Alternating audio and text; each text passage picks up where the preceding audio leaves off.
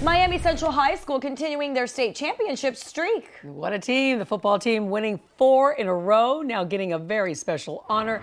And Local 10's Ian Margol is live at the school in Miami with all the excitement. They have a lot to be proud of, Ian.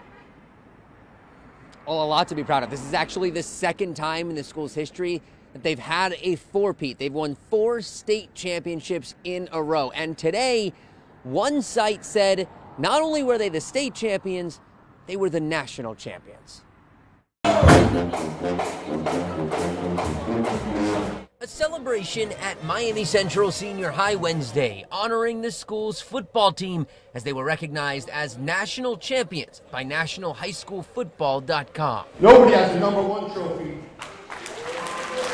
have the first one ever created by NationalHighSchoolFootball.com, and for sure, it will not be the last. The Rockets put up a perfect 14 0 record this season, taking down powerhouses like IMG Academy and American Heritage, and topping their rival Miami Northwestern twice, giving them their fourth state championship in a row. That's uh, the second four-peat in school history, so to be a part of history is it's an amazing feeling.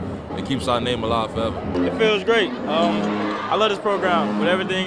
We got kids in the neighborhood that look up to us. Uh, we got to be great um, role models for them guys and know, you know, it's a place that they can call home. The four-peat is even more impressive because it came in Jube Joseph's first year as head coach after taking over for legendary coach Roland Smith when he moved on to the University of Miami.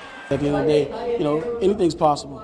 You know, and these kids showed, you know, that, that, that if, they, if they put their minds to think that they wanted to, they'll be able to play and dominate and be successful on the field.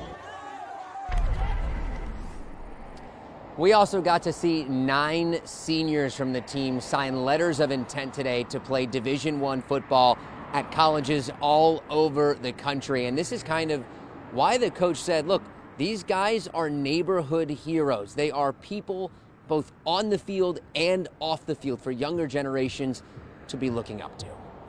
Live at Miami Central Senior High, I'm Ian Margol, Local 10 News.